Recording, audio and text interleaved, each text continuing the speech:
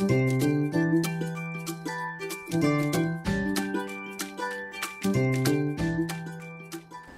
สดีครับ In this video we're going to show you how we make our special banana pancakes. Egg Milk Banana Raspberries Blueberries one of our favorite things to eat for breakfast. This is a good way to get some some fruits into your kids' meals, especially if they if they're a little bit picky. Pancake mix with eggs and milk with uh, with our bananas. We're gonna mash them all up so it, it uh, blends into our, our mixture when yes. we make our pancakes. What's your favorite breakfast? Huh? What's your favorite I'm breakfast? gonna put some fruits in it, and then this mix up with the syrup, and this this cook it in the oven.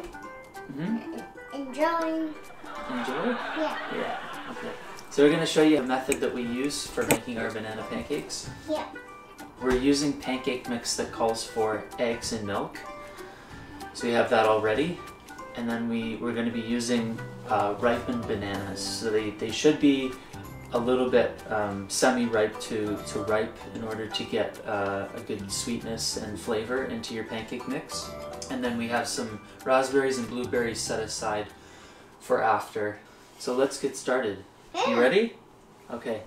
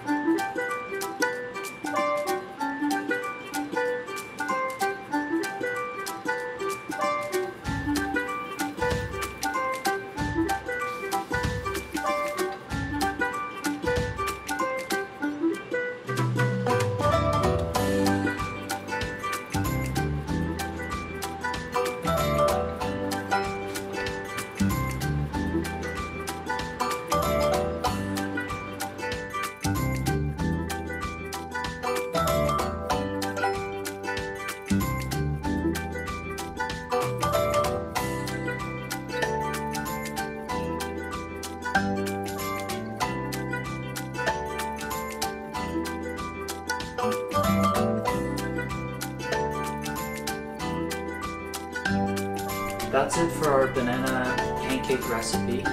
Hopefully you enjoyed it and you tried it sometime for your own breakfast. It's been a real hit for our family and Parker, who especially is picky, loves eating them. So hopefully you try it sometime. Thanks so much for watching and we'll see you on the next video. So, Dikap.